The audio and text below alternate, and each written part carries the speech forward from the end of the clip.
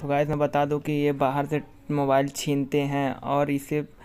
लोगों ने पकड़ लिया और पंद्रह किलोमीटर तक ऐसे लटका के लेके गया और ये छोड़ने के लिए ना बोल